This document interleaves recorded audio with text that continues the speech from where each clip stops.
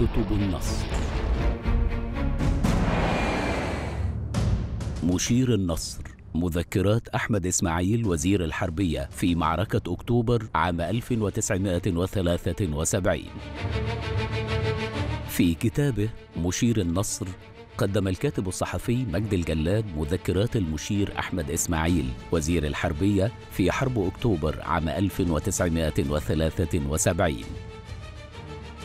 حملت الصفحات الأولى للكتاب ثلاث مقدمات للمؤلف والناشر ونجل المشير أحمد إسماعيل الذي أشار إلى دوافعه لنشر مذكرات والده في الذكرى الأربعين لنصر أكتوبر مؤكدا حرصه على تقديم الصفحات التي كتبها والده كما هي باستثناء تعديلات طفيفة في الصياغة حتى لا تفقد الوثيقة التاريخية مصداقيتها. وعاهد الله والوطن أن نبذل ونضحي إلى غاية المدى حتى نحقق الهدف.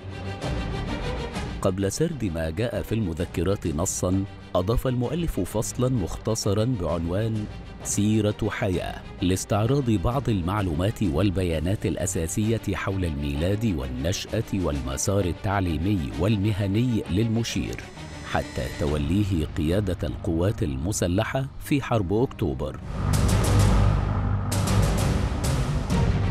تبدأ مذكرات المشير أحمد إسماعيل بتكليفه بتدريب رجال القوات المسلحة على الأسلحة السوفيتية التي اشتهرت عام 1955 بصفقة الأسلحة التشيكية.